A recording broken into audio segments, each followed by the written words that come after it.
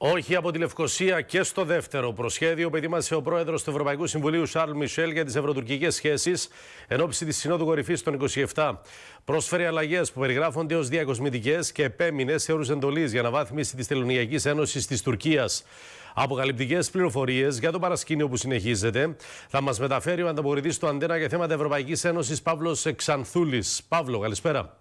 Καλησπέρα, Νικήτα. Όντως, το δεύτερο προσχέδιο του κ. Σαλμισέλ επέμεινε όπως και το πρώτο στην παραχώρηση όρων εντολής προς την Κομισιόν προκειμένου να δρομολογηθεί η διαδικασία αναβάθμισης της Τελωνιακής Ένωσης της Τουρκίας. Το μόνο καινούριο ήταν κάποιες όντως διακοσμητικές αλλαγές, οι οποίες ωστόσο δεν ανέτρεπαν τη γενική εικόνα.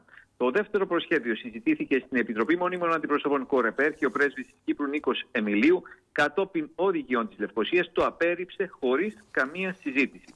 Η ξεκάθαρη τώρα άρνηση της Λευκοσίας να προσυπογράψει και το δεύτερο προσχέδιο του Σαρ Μισελ οδηγεί, όπως πληροφορούμαστε, στην ετοιμασία τρίτου προσχεδίου κοινή δήλωσης, καθώς ο γερμανικός άξονας και οι Βρυξέλλες συνεχίζουν να προσπαθούν να ικανοποιήσουν την Άγκυρα στο μίσο ζήτημα της Τελωνιακής Ένωσης.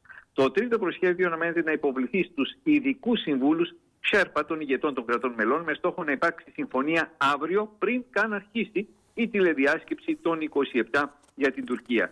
Εάν η Λευκοσία μείνει στη θέση της, κύκλοι στι Βρυξέλλες δεν αποκλείουν το θέμα της Τελωνιακή Ένωσης να παρεμβεί κατά ανάγκη τον Ιούνιο, προκειμένου να διαπιστωθεί στο μεσοδιάστημα εάν η Τουρκία επιδείξει θετική στάση στο Κυπριακό. Να αναφέρουμε ακόμη ότι κατά τη σημερινή συζήτηση στην Κορεπέ στήριξη προς την Κύπρο διατύπωσε η Γαλλία, η οποία σημείωσε ότι θα πρέπει να διασφαλιστούν οι ανησυχίες της Λευκοσίας, χωρίς πάντως να υποβάλει συγκεκριμένη πρόταση. Παύλο Ξανθούλης, ευχαριστούμε.